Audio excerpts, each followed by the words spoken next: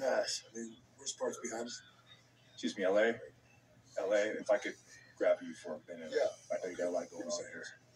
Uh, clearly, Shinsuke Nakamura impaired you with his mist earlier on tonight. How does this affect your status for tomorrow at We got to talk about this right now, don't we? We got to talk about this right now. I'm in here trying to get worked on. I can barely see anything at this point. But here's the thing: you want to talk about Shinsuke Nakamura? Let's go ahead and talk about Shinsuke Nakamura. Why don't I go ahead and take a seat and talk about Shinsuke Nakamura? Why don't we talk about the fact that the guy's been gone for a little bit? All of a sudden, he shows up and he's got a problem with me. He's got a problem with this guy, and he should.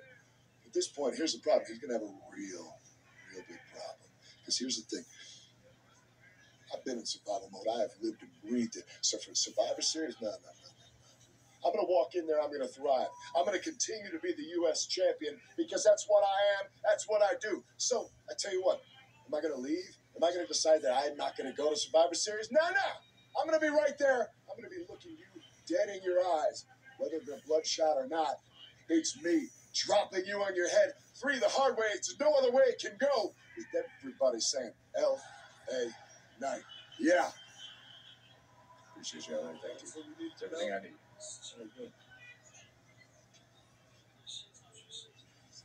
I gotta get a shower at some point. Off.